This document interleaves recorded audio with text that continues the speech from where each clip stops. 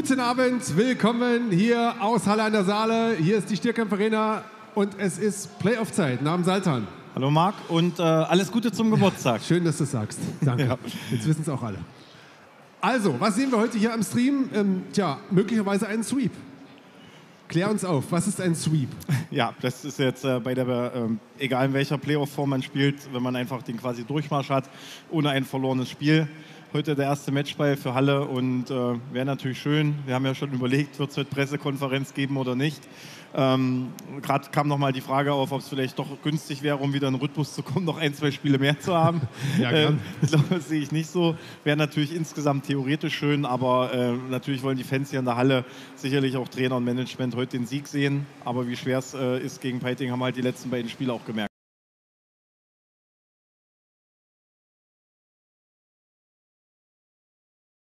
Geordnete Rolle spielen wie die letzten beiden Spiele. Ähm, das meide ich auf beiden Seiten. Wir wollen Playoff-Hockey sehen und äh, beide Teams haben gezeigt, dass sie sich hier nicht wehtun wollen im äh, gemeinen Sinne, nur im sportlichen. Und äh, die Schiedsrichter sollten beide Teams laufen lassen, äh, spielen lassen. Beide sind spielerisch fit genug, ähm, taktisch fit genug und körperlich äh, sicherlich auch. Oh, schön aufgepasst hier von Peiting. Sturm hinterläuft Schmid, kriegt die Scheibe nochmal hoch und jetzt, äh, also die Überzahlreihe ist schon, ja, die ist ganz, ganz stark und wollte ich, mich, ich wollte mich gerade melden zum Stream, aber ich melde mich nochmal ab, mache das Tor und melde mich dann wieder an. ja, Rohrbach ist jetzt natürlich wieder auf dem Eis. Äh, 35 Sekunden hat es gedauert und Halle kann hier vorlegen, 1 zu 0. Ähm, die, die Reihe, die hier in Überzahl draufsteht, das funktioniert schon. Hier sehen wir den Laufweg. Peiting einfach nicht in der Unterzahlformation, dass sie im Viereck stehen. Hier sehen wir es ganz deutlich. Und dann äh, den Spieler ganz frei vom Tor, den muss man natürlich haben. Ähm, oben auf der blauen Linie notfalls einen freilassen, aber der vom Tor, da muss zumindest auch der Pass verhindert werden. Tief, also die erste Überzahlreihe äh, gefällt mir ausgesprochen gut. Ui, Urbisch mit einer kleinen Unsicherheit kann die Scheibe aber wegwischen und äh, Querpässe Mitteldrittel, Marc. Ach, sowas Schönes. Auch schon das zweite Mal. Ich, woll, abgefangen. ich wollte es nicht äh, schon wieder bringen, weil es heißt dann immer, äh, Mensch, ja. Aber es ist ja eine deiner Spezialitäten. Mein, mein lieber Herr Gesangsverein, muss das sein? Das geht ja nur, wenn er ihn aktiv kontrolliert hat äh, mit dem Schläger. Hat er das? Ich, bin- ich habe es auch nicht gesehen. Wir brauchen nicht munkeln. Vielleicht kriegen wir noch eine Zeitlupe. Wenn nicht, dann ist es eben so. Jetzt kriegen wir erstmal das Tor. Tor. Das waren jetzt einfach zu viele Unterzahlsituationen und was äh, das betrifft, natürlich völlig verdient der Ausgleich.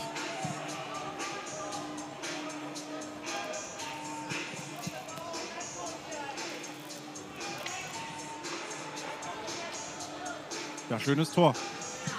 Keine Sicht für Urbisch, einfach mal schön halb hoch reingehalten, mit dem Handgelenk gar nicht weit ausgeholt.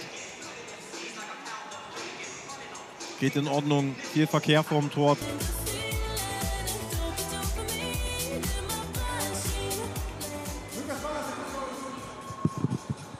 Lukas Walasek ist bei uns. Jetzt habe ich auch das richtige Mikrofon. Ähm, Freitag das 1-0, heute das 1-0. Das äh, fing gut an. Dann aber kam der Ausgleich. Ja, wir hatten nach dem 1-0 noch ein paar Chancen, die wir nicht ausgenutzt haben. Und dann kam hier so ein, ich will nicht sagen lässiger Schuss, gut Schläger reingehalten, geht da rein, äh, sind die wieder im Spiel. Aber wenn wir so weiterspielen, dann glaube ich, wir machen noch ein paar Tore und dann ist wieder gut.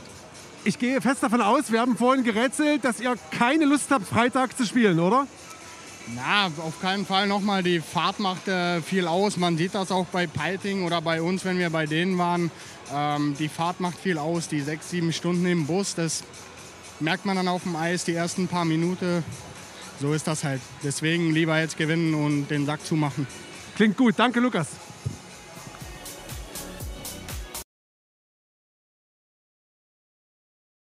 So, zweites Drittel, es kann weitergehen. Ich habe mich auch ein bisschen beruhigt, werde ich, äh, mich jetzt nicht auf die Schiedsrichter einschießen, aber äh, liebe Peitinger, ich meine das auch für euch, ich meine das für beide Seiten. Ich hätte gern Schiedsrichter, die auch äh, Playoff-reif sind, so wie die Teams. Hier waren mir zu viele Strafen auf beiden Seiten, auch die letzten Spiele insgesamt, die man in Playoffs bitte nicht pfeift. Ähm, jetzt müssen wir damit leben, äh, beide Seiten.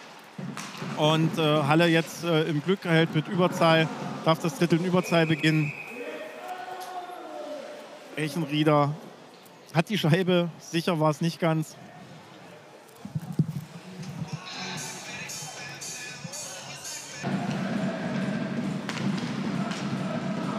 Sehr schöne Bewegung. Ja, Genau die richtige Antwort. jetzt hat Bierwein mal ähm, tja, vor Freude geschrien mit einem todernsten Gesicht allerdings. Das ist äh, aber schon Zeichen höchster Emotion für ihn. Und Sören Sturm ist noch nicht zufrieden. Sören Sturm muss aufpassen, dass er sich keine zwei Minuten abholt. Hat heute den Vorteil, als Kapitän zu laufen. Äh, macht man als Hauptschiedsrichter wirklich nur am äußersten, dass der Kapitän eine Strafe kriegt wegen Meckern. Aber das war eine ganz tolle Bewegung von Vihawein. Und Nimele, wie er es auch die letzten Spiele gemacht hat, zieht sich dann zurück, wenn er sieht, dass der Slot voll ist oder vor dem Tor schon der Verteidiger tief steht. Warum auch immer, da der Verteidiger so tief steht, sogar im übermäßig strapaziert und die Schiedsrichter nicht doch irgendwann äh, zur Hälfte des Drittels sagen, jetzt äh, pfeifen einfach mal alle dreieinhalb Minuten ein Foul auf beiden Seiten. Oh, oh, oh, der ist durchgerutscht. Und da geht's das Tor. Kein Tor. Regie, wir brauchen schnelle Aufklärung.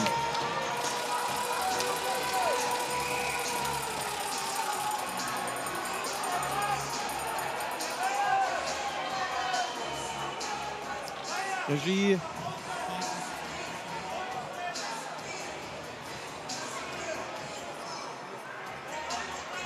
Im Stream dürfen wir das nicht zeigen.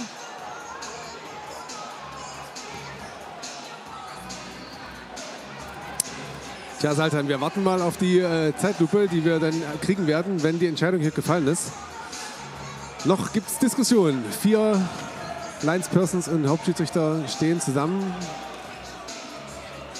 und sprechen.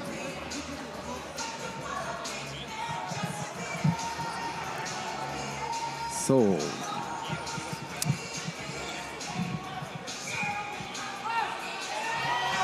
Gibt das Tor nicht. Und wahrscheinlich, zu Recht nicht. Das ging jetzt auch für mich zu schnell. Da ist er drin.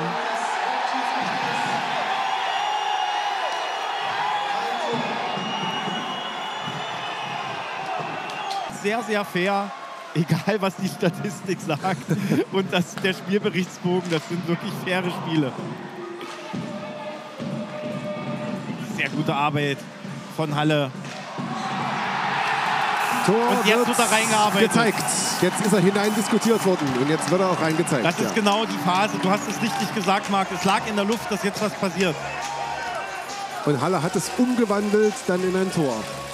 So, jetzt wird interessant zu sehen, wie unsere Gäste aus Peiting reagieren.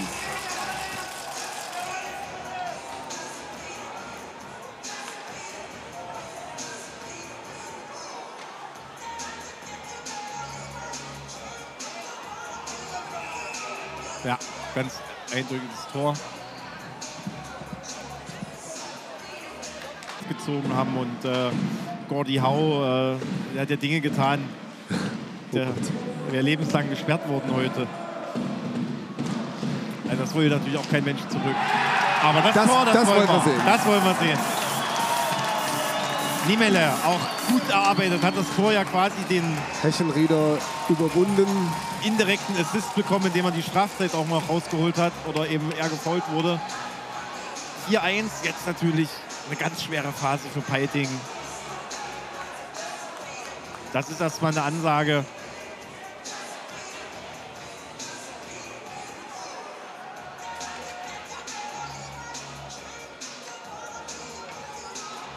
Mit dem rechten Schlittschuh angenommen und dann noch direkt ins kurze Eck ab. Immer erst am Ende einer Serie. Aber alles konjunktiv. Hätte, hätte, Fahrradkette. Sehr schöne Aktion.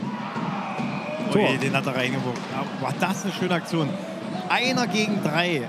Peiting ist wirklich alleine. Vihawein spricht sich sogar noch ab mit seinem Verteidiger. Und es ist das Tor im zweiten Drittel. Und das ist genau das, was jetzt natürlich das Spiel nochmal komplett verändert. Denn mental sind zwei Tore was anderes als drei Tore. Also wirklich ein Riesenunterschied. Nicht nur rechnerisch. Und hier drei, einer auf drei. Schafft es nicht, die Ecke zuzumachen. Und Scheibe rutscht durch. Also eine super Einzelleistung, also wirklich eine komplette Einzelleistung von Peiting.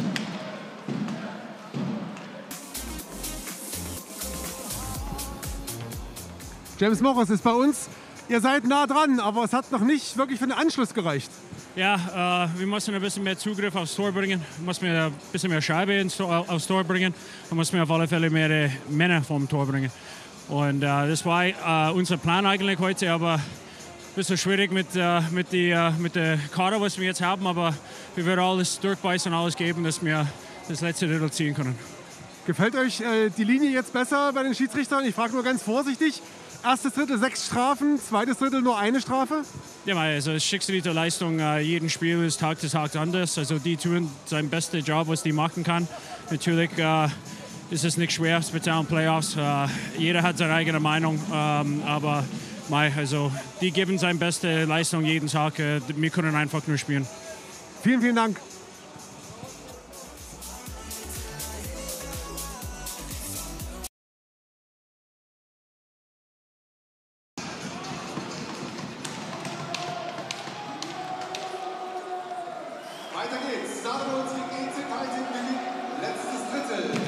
Schöner Pass auf Via Wein.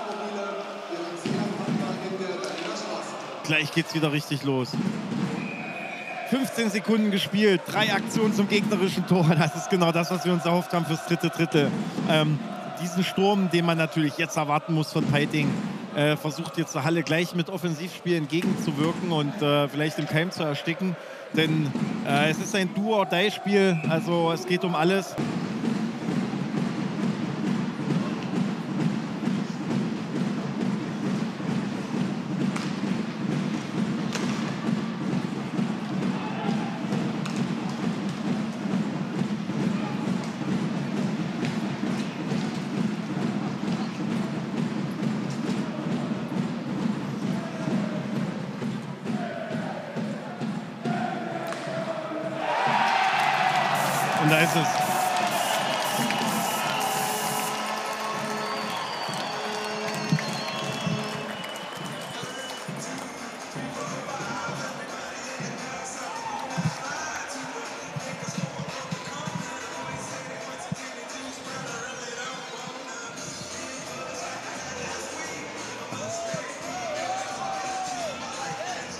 So, hier ist gerade viel los. Äh, wir freuen uns natürlich erstmal über das Tor.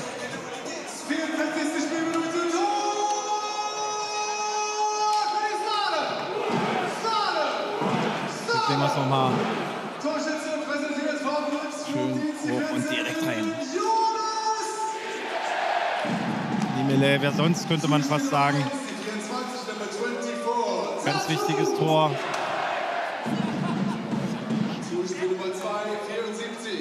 Bei 2 Minuten 22 noch.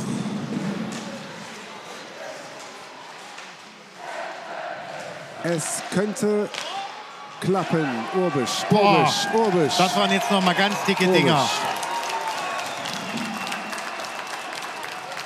Das waren nochmal big, big Saves. Also Großartig. genau zur richtigen Zeit. Zwei Minuten, neun Sekunden vor Schluss. In Unterzahl holt er zwei so eine Dinger raus. Wahnsinn. Hier sehen wir es nochmal. Viel Arbeit in der Ecke, bisschen viel Risiko. Eins. Eins. Und Zwei. den zweiten auch nochmal. Okay, das war wichtig. Und die Spieler schützen Ja. ihn vorm Tor auch gut. Becker steht, hat den Schläger Vielleicht aufgenommen. auch etwas theatralisch gefallen. Gefällt mir nicht sowas. Urbisch, Hier geht es jetzt nochmal. Urbisch. Strafe angezeigt. Eine. Formin, Formin und Morris. Das wird spannend. Das wird spannend. Das sind zwei Generationen, die da kämpfen. Haben wir gesagt, ohne Kampf kann das hier nicht ausgehen, das war klar. Und jetzt gab es halt noch mal ein paar Aktionen.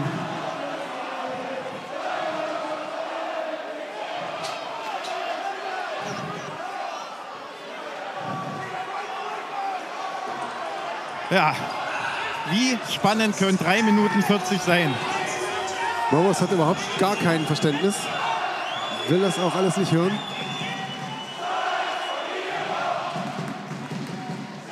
Ah, scheiß Verlierer ist halt immer, was die Fans rufen. Ich finde Peiting fast zu fair für Playoffs, äh, auch trotz der Strafzeiten. Aber solche Aktionen hätte man sich halt eher, äh, äh, ja, nicht nur erhofft, sondern eben gedacht, dass sie kommen. Hier sehen wir es nochmal. Obe sticht aus, hat ein, äh, Scheibe ist noch frei, völlig in Ordnung, dass da versucht wird. Gibt es den ersten drüber, den zweiten drüber. Gibt es nochmal einen Schläger. Ja, alles in Ordnung.